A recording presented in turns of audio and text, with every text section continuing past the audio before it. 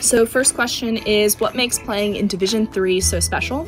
I think that Division 3 is probably like the most passionate division and I think that you'll find the most passionate athletes in Division 3 because everyone who's here is here because they want to be and for no other reason. Um, like every practice you get up to, every time you wake up at 5 in the morning to get there, um, you're doing it just because you want to be and because you love the sport. Why are you so proud to be a D3 student athlete?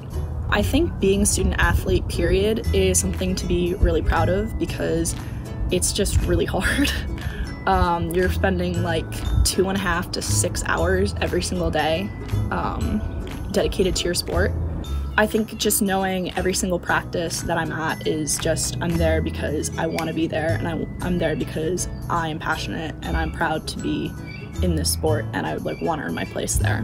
Why D3? So I chose D3 um, really long time ago uh, because I was really passionate about being a swimmer and I was also really passionate about being a student um, and I wanted to go somewhere where I could pursue both passions equally. I wanted a school that would support me with swimming but also like care about my my studies and being a student. And I think Rowan really provided um,